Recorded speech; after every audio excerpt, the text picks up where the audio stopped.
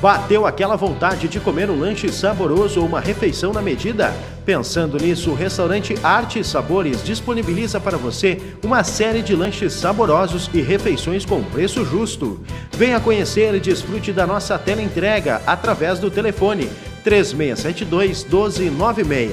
Restaurante Arte e Sabores, sua satisfação é o nosso objetivo.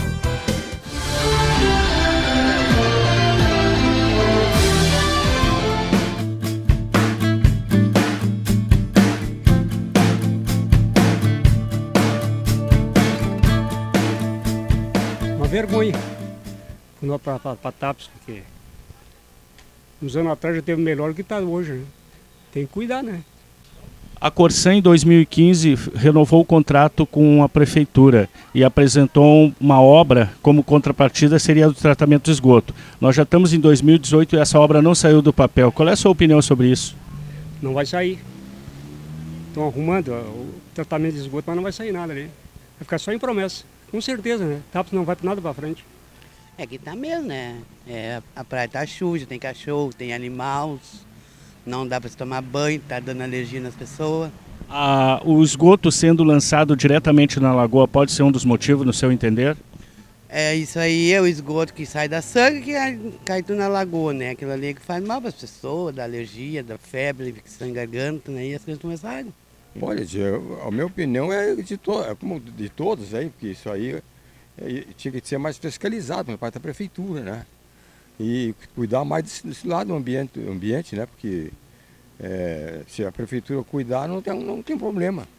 Porque a população, a maioria, não, não se preocupa muito com isso. Só quando está enchendo de rato ou, ou, começa a dar peste, doença, é que vão tomar providência, né? Eu acho que aí um pouco tem que ser, ele tem que mais, ter mais cuidado com isso aí. Uma falta de respeito com a natureza, como tudo aqui em Tapes, né?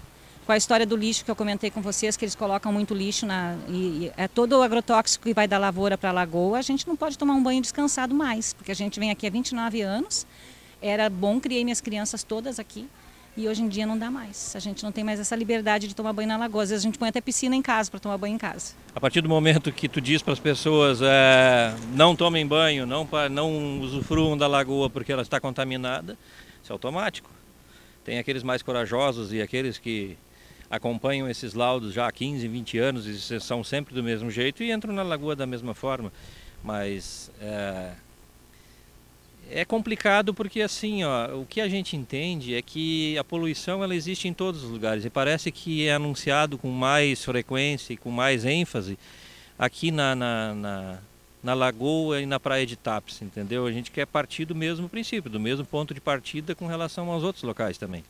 As praias de Santa Catarina também estão com um problema sério, né? Exatamente, e não é tão divulgado, entendeu?